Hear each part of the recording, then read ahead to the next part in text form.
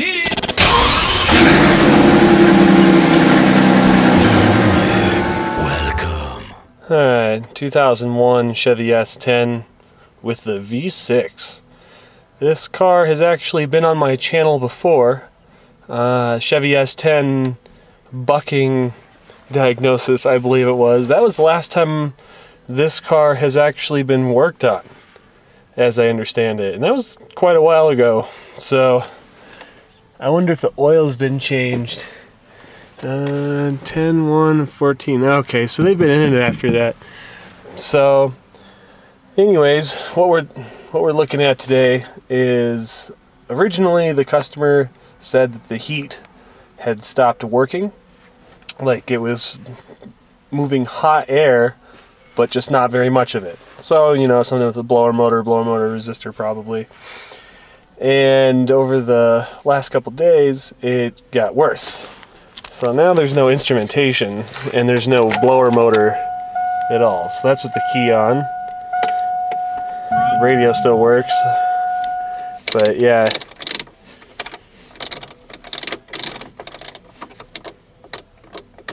Hear a relay clicking, but I got nothing else. And of course it does start and run.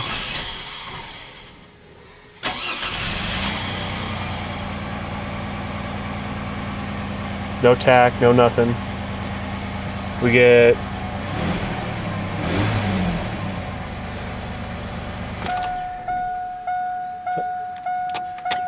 we get nothing. Not even oil pressure. So okay, it's got to be a fuse, right?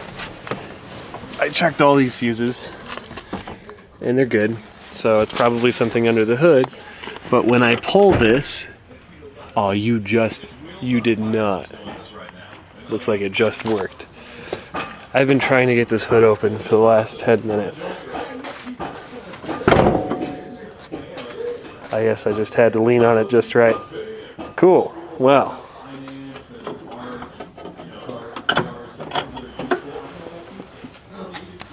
Now we can get a look at some stuff.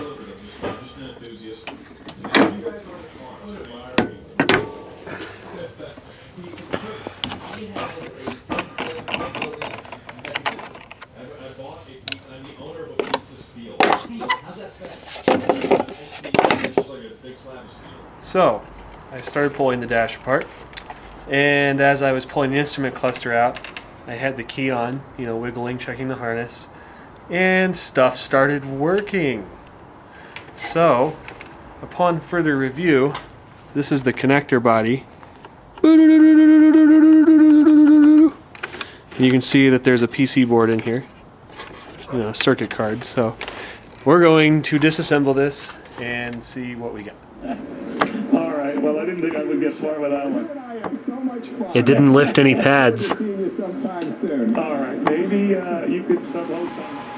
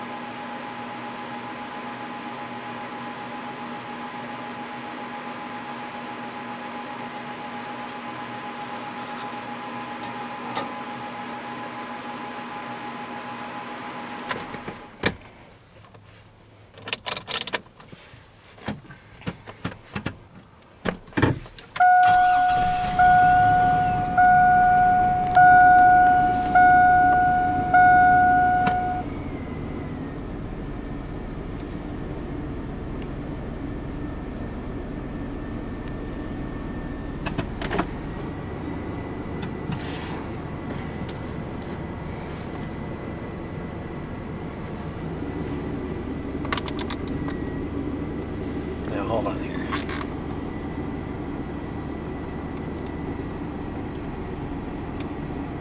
I feel it click.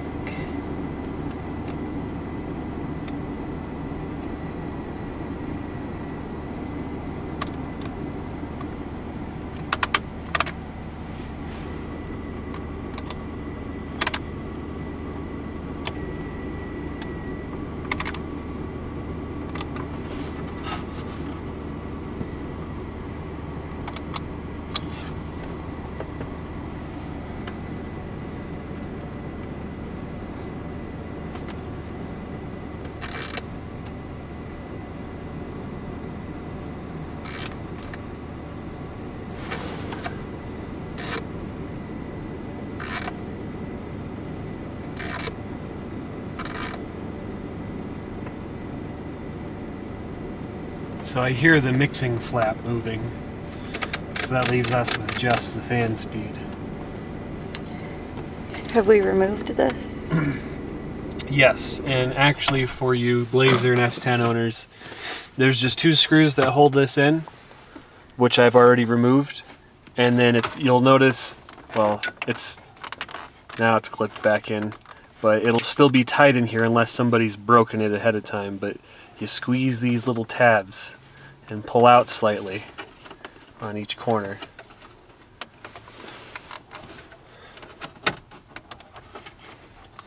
and then you can just slide the, the whole thing out. And we'll, uh, So what if we try, yeah, wiggle that or well, I'm not going to get too far ahead of myself. I want to put the cluster back in all the way first. I'm really good at that.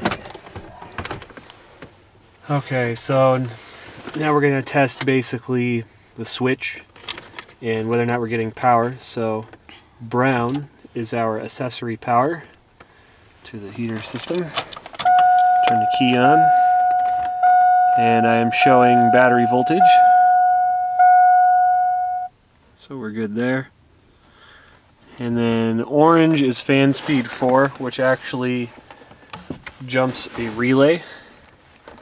So I'm going to take this and touch it to orange. I hear the relay clicking. Which means that our problem is actually going to be out there with the heater system. So it seems to me that this switch is okay.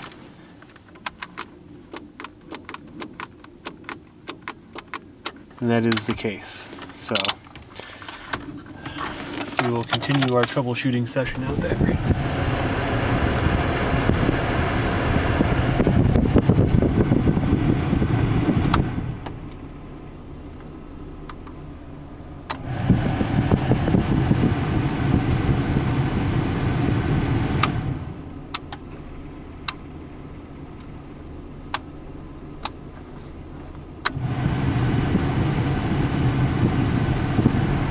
Fan speed 4 was fixed by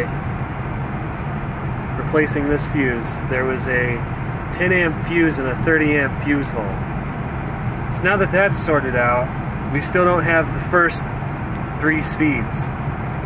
So now we gotta figure that out. That's gonna be fun. Um, now we tested power to this brown wire here earlier.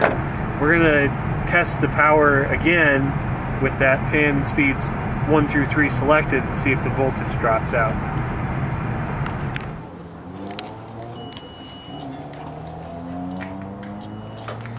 Alright, so we've got a bad thermal cutout here on the blower motor resistor pack.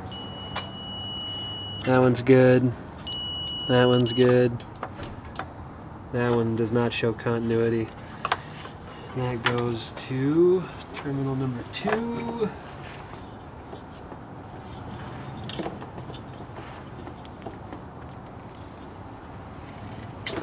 And that's the main output to the blower. So what I'm going to do just to test this theory is bridge across the bad cutout. So I'm going to go solder that up. I'll be right back. So this is what turned out to be the problem. This is the resistor pack for the blower motor and where this is in the car is actually mounted to the heater box and after the fan takes in fresh air or air from inside the car, it'll blow across this before it goes to the heat exchanger, whether that be the uh, AC evaporator or the heater core itself. And so these are basically just coils of wire. When you coil up a wire, after a certain length of wire, gives you a little bit of resistance. And so they use like this longer coil here to get a lower speed. And then this like medium length coil is probably medium and these are probably the highest speed because it's going to be the path of lowest resistance. And actually, see all these are fine. They're not burned or damaged or anything and there's no broken connections. But there's these in here. And these are thermal cutout switches.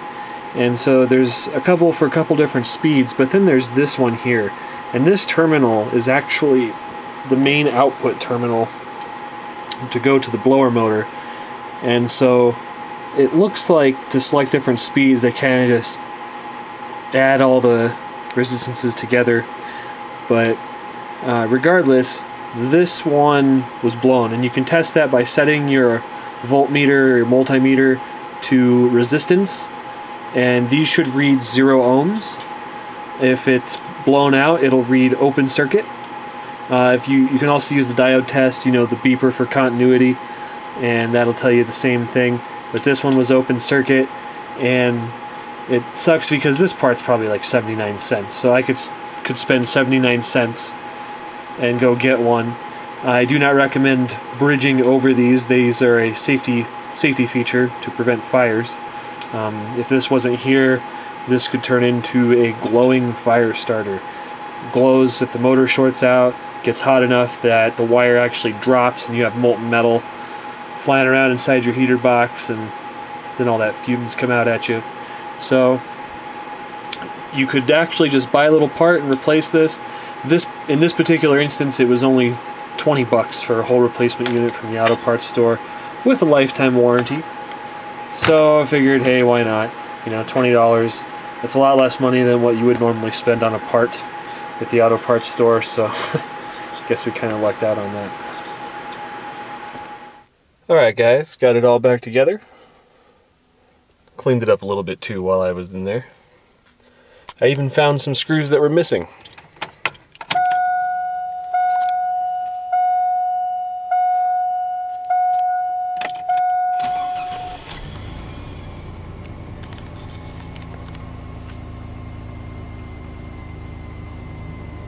Beautiful.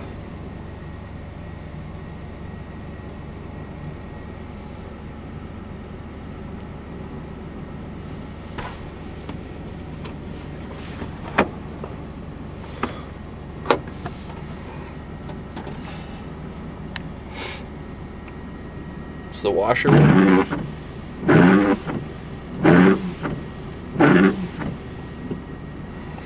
Out. Okay. Now I'll have to reset the time for and stuff since I had to disconnect the battery. Alright.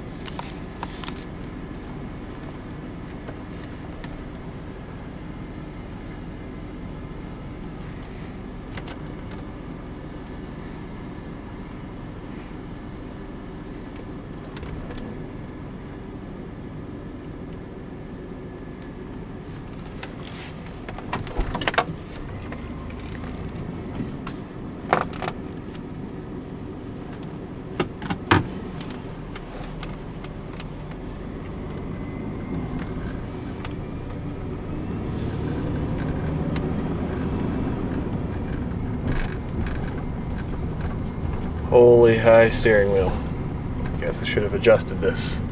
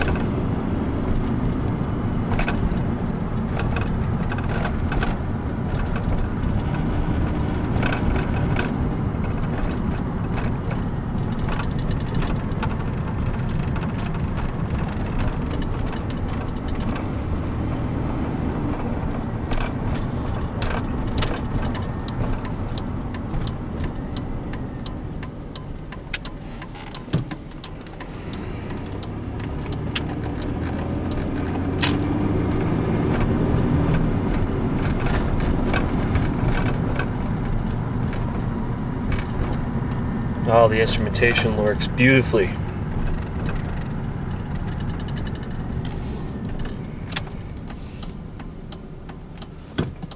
It's starting to get some temperature in it. It is November 20th now. It is 50 degrees and sunny. Well, it's not sunny right this moment. It was sunny outside earlier. I'm actually shorts, jeans, not shorts, pants, t-shirt and jeans. So that's what I get because talking takes a back seat to driving. You know how when people talk on their cell phone and then they stop paying attention driving so much? I just stopped paying attention talking so much. Don't let down my guard driving. Makes me sound like an idiot, but at least I'm not crashing into things.